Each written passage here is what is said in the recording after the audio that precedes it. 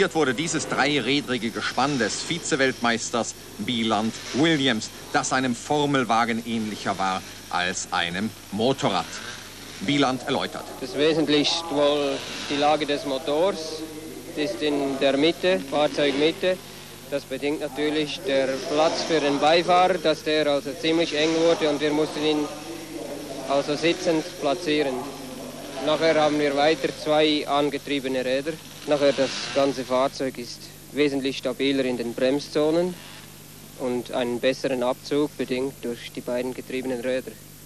Immerhin liegt Bieland mit diesem Fahrzeug mit weitem Abstand in Führung in der diesjährigen WM-Wertung. Was sagt er zur Kritik an seinem Fahrzeug? Dazu kann ich nur sagen, bisher hat die Konkurrenz geschlafen, weil sie das Reglement eben nicht studiert hat. Und das haben wir letzten Winter getan und so ist das Fahrzeug dann entstanden.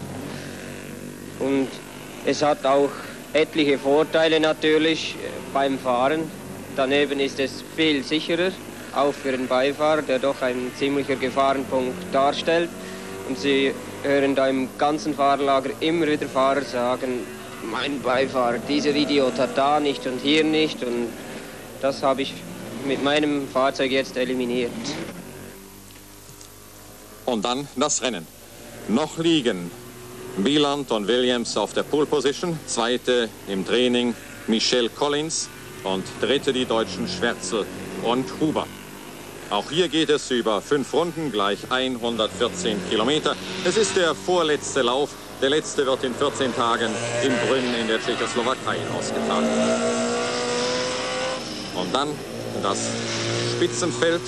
Vorne liegt im Augenblick noch das Schweizer Gespann, aber dann schon eine Runde später die deutschen Schwärzelhuber auf einer Fahrt. Dann Michel Collins auf einer Seimatz und die Schweizer, hochfavorisiert, halten nur den Platz Nummer 3.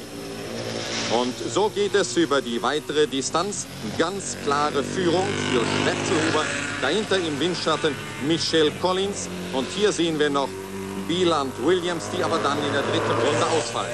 Und so gibt es einen ganz überraschenden Sieg der Deutschen Schwärzel und Huber auf einer Fahrt, die sich damit auf den dritten Platz der WM-Wertung vorschieben.